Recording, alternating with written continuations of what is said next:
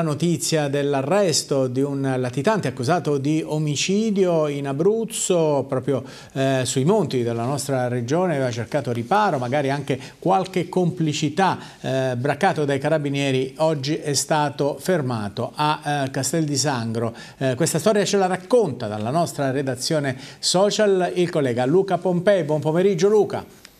Buon pomeriggio Carmine, si aveva trovato lavoro come cuoco in un hotel di Roccaraso, Paolo Carbone, il 57enne eh, fortemente indiziato per l'omicidio di Sergio Romeo, un 48enne eh, morto l'8 giugno eh, scorso dopo eh, due giorni di agonia all'ospedale di eh, Milazzo per le ferite riportate. Inizialmente eh, Romeo aveva parlato di una caduta dalla bici, ma dalle indagini indagini dei carabinieri è emerso che sarebbe stato proprio eh, Paolo Carbone all'uscita di un uh, bar, questo bar di uh, Venetico nel Messinese, a, a, colpirlo al culmine di una lite con una mazza uh, da baseball. Dopodiché Paolo Carbone aveva fatto perdere le sue tracce, aveva trovato rifugio proprio in Abruzzo, in, in un hotel a Roccaraso appunto dove svolgeva lavoro come cuoco. È stato rintracciato ed arrestato dai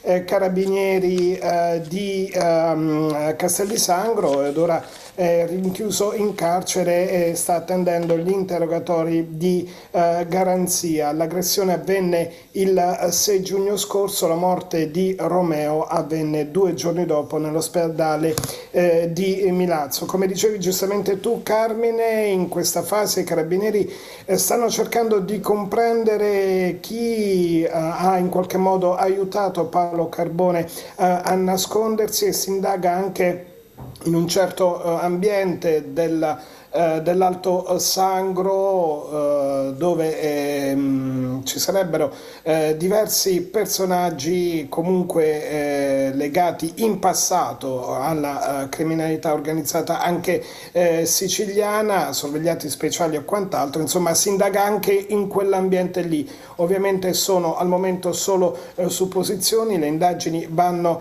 avanti, comunque in questo senso la storia si è conclusa qui. Paolo Carbone è stato assicurato alla giustizia. A te Carmine.